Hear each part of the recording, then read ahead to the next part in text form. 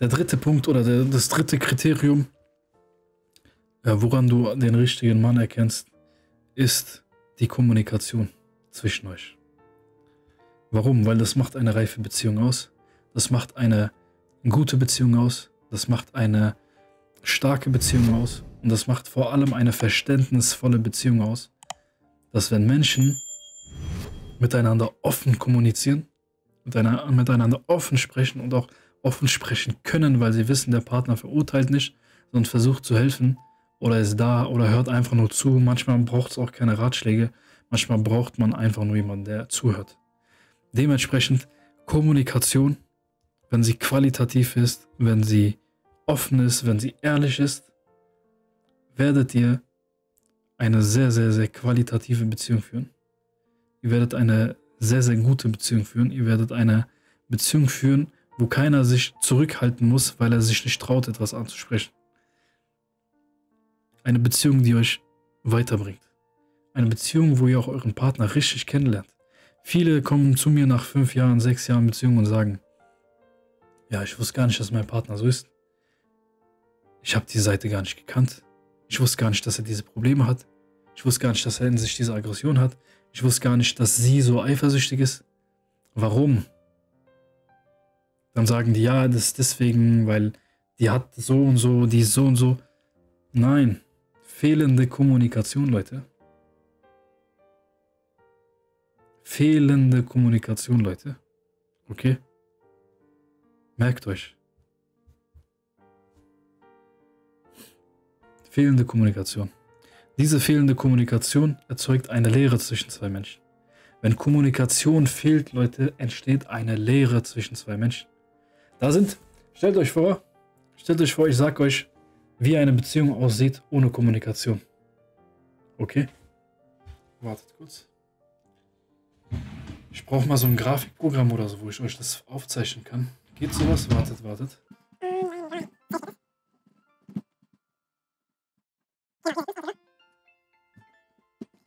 So, Freunde, eine Beziehung ohne Kommunikation ist wie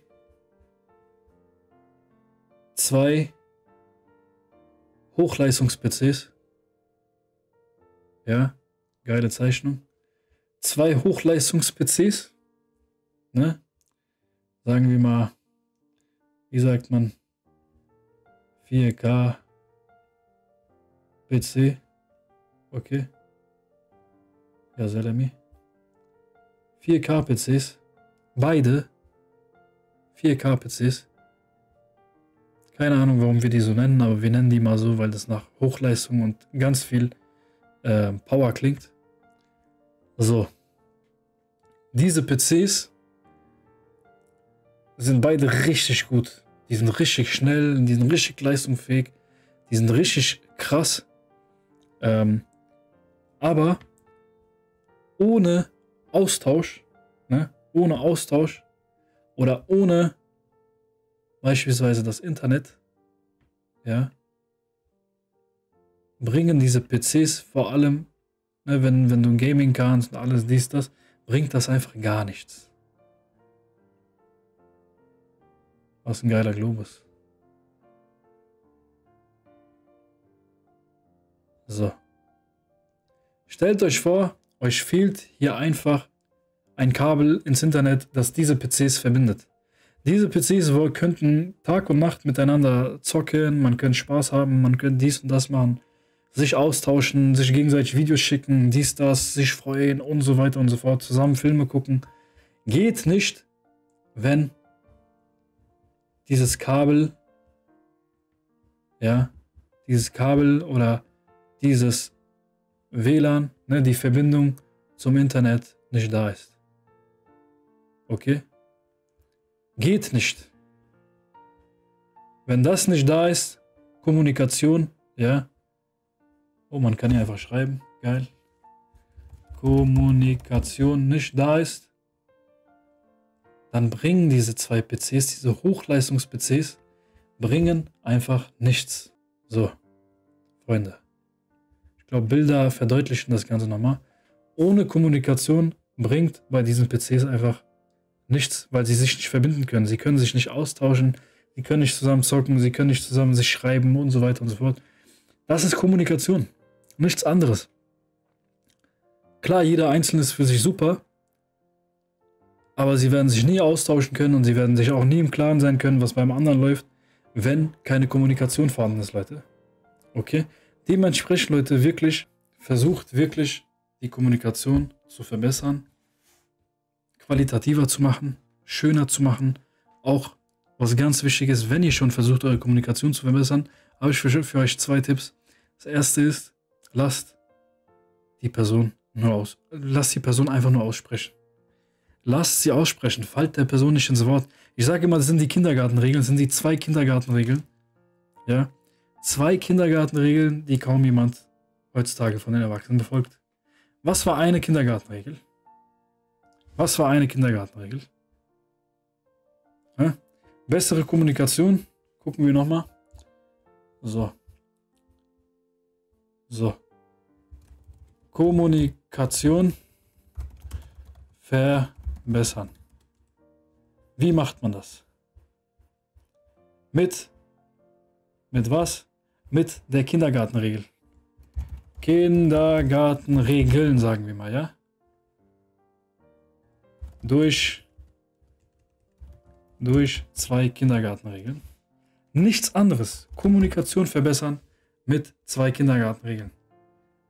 Erstens, ja, erstens, ein wunderschönes Ohr. Sieht aus wie zwei Dreien. Geiles Ohr auf jeden Fall. Erstens, zuhören. Ja. Beziehungsweise aussprechen lassen.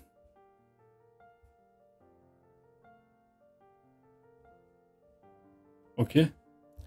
Erste Regel. Zuhören und aussprechen lassen. Okay? Zweite Regel. Was denkt ihr, was ist die zweite Regel? Wart ihr im Kindergarten? Habt ihr im Kindergarten aufgepasst, Leute? Was ist die zweite Regel, Leute?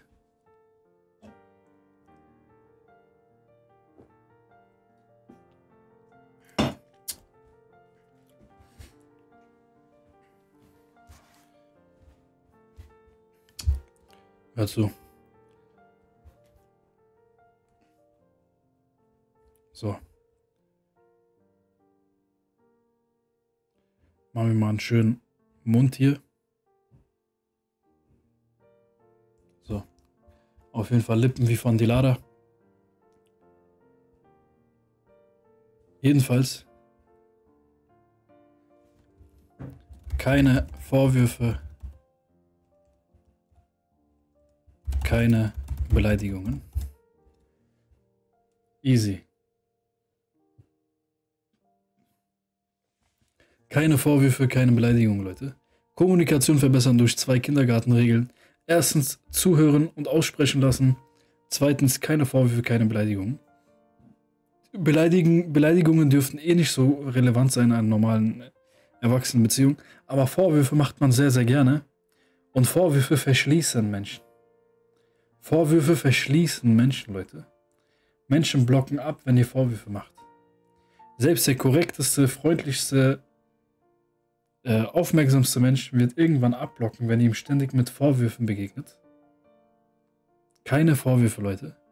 Okay? Beleidigungen sind eh nicht so krass relevant, aber merkt euch auch keine Beleidigungen. Nichts mit Idiot, nicht Arschloch, nicht Fotze, nicht Wichser, nicht äh, Dummkopf oder sonstiges. Keine Beleidigungen und keine Vorwürfe. Okay? So. Kommunikation verbessern durch zwei Kindergartenregeln. Und wichtig ist, dass Kommunikation ohne das hier, diese Verbindung hier nicht funktioniert. Ja? Oder wenn nur einer plappert und der andere die Verbindung gar nicht hergestellt hat. Bockt auch nicht. Dann kommt auch nichts an. Ihr kennt das. Auf WhatsApp nur ein Haken. Ihr wisst, läuft nicht. Okay? So. Was haben wir noch?